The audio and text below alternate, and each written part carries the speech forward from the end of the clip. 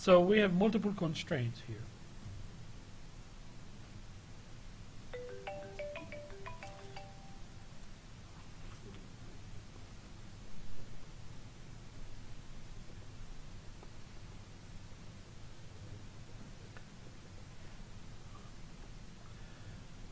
Um, the, the idea behind it, if you have multiple constraints, then you have one multiplier for one constraint and the second multiplier for, for the second constraint. Okay, so basically, you can either write lambda 1 and lambda 2, or just uh, we'll use uh, lambda and mu uh, for, for each. Okay, so we use um, one Lagrange multiplier for each constraint. So here's the example. I think it's example four in our list. Again, find max min.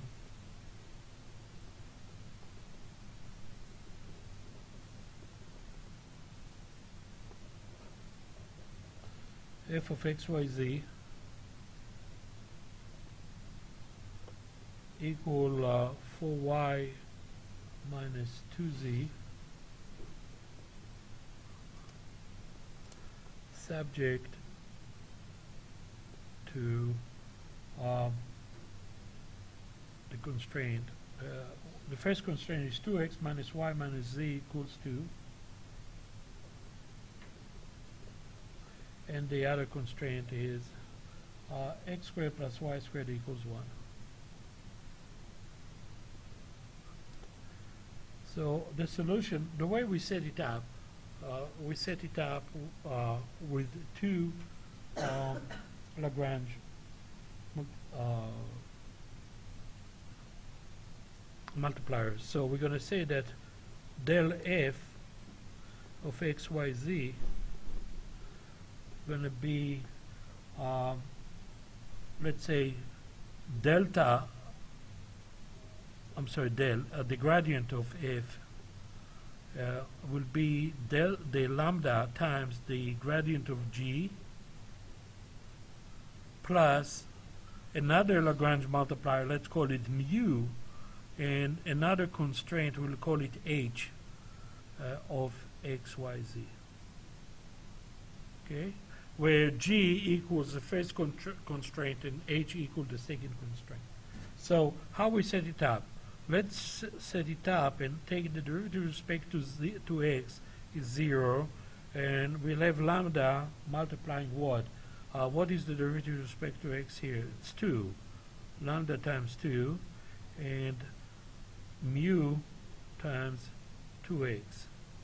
Okay?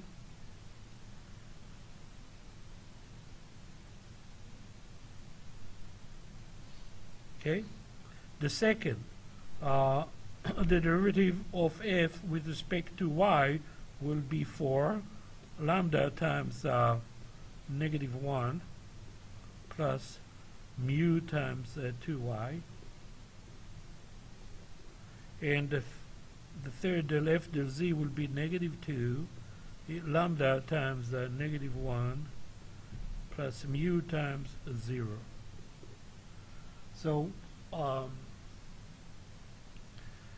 and the last two equations will be uh, 2x minus y minus z equals 2 and x squared plus y squared uh, equals 1. So we do have a system of five equations with five variables x, y, z, lambda, mu. And we need to solve for it. Okay? So we the first thing we can see that here because mu multiplied by 0, then negative 2 equals negative lambda, or lambda equals 2. Now that makes a lot, uh, life a little bit easier, okay? And then we'll look at this equation, the first equation.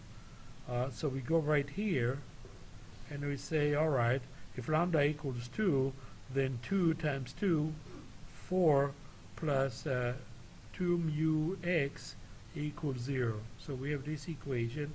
If lambda equals 2, here we have 4 equals uh, negative 2 plus 2 mu y. right? This one we already dealt with.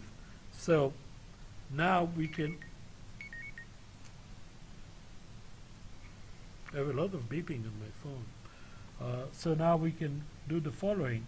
We can go to um, what equation? We uh, we can say that from here we have x equals negative 4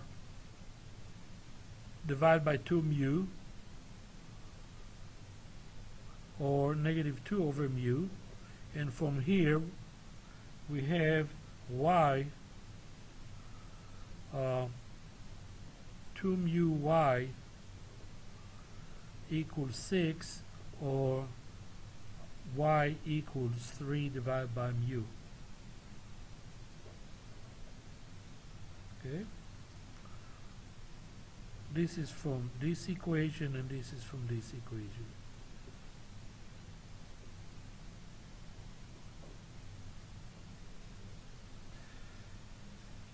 So now we plug it into the first con the second constraint and the second constraint we have because in the second constraint we have only y and z and so we don't have to worry about the uh, the x here. So let's see. Uh, I'm sorry the second constraint we have only x and y. So now we can solve from u. So plug in so x squared plus y squared equals 1 becomes x squared is uh, negative 2 over mu squared plus 3 over mu squared equals 1 and we solve for mu and turn out that we have 4 plus 9 over mu squared or 13 over mu squared equals 1 and therefore mu equals plus minus square root of 13 Okay. We have that, and now we have value for x. So x equals plus minus, uh, actually,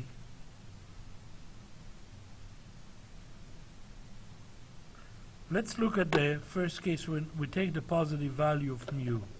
Okay, so let mu equals positive square root of 13. In this case, x equals uh, negative 2 over square root of 13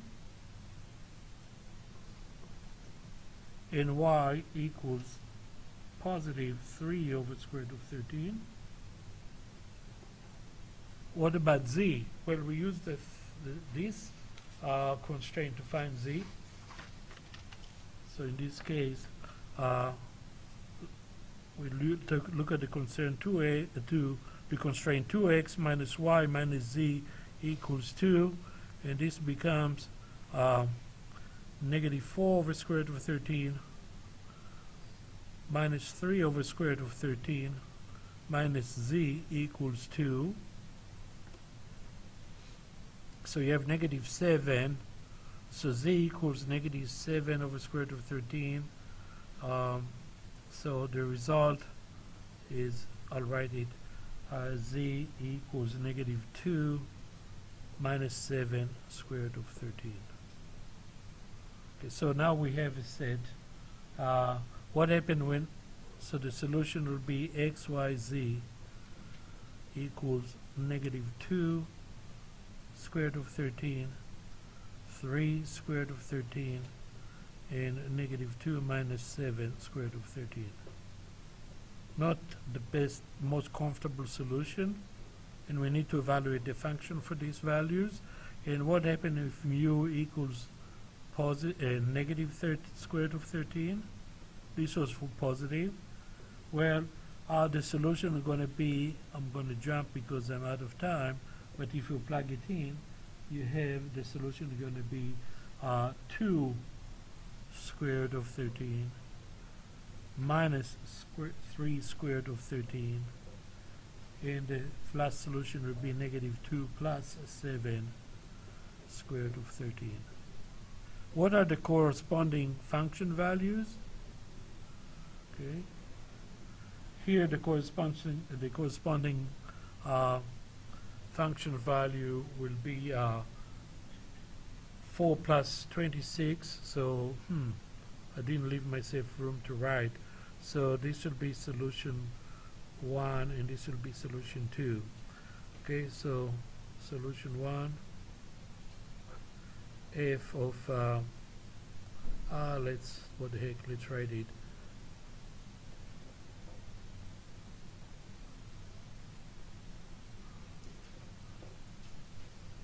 If you evaluate it, it will be 4 plus 26 over square root of 13.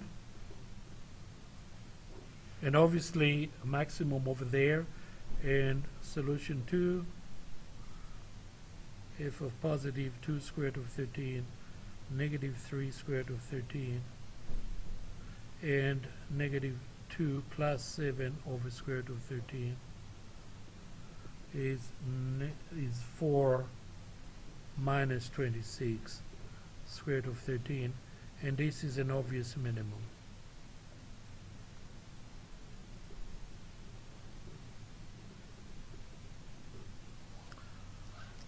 All right. So uh, what I didn't show you, what happens if you have a, a disk, if you have inequa- inequality as a constraint. So, but it's in the textbook, I think. Uh, so try to figure this out. Uh, if not, I'll talk about it on Friday. I'll let you know tomorrow or tonight whether we have a lab and we meet in X one two three or we meet here if we don't have a lab. You okay?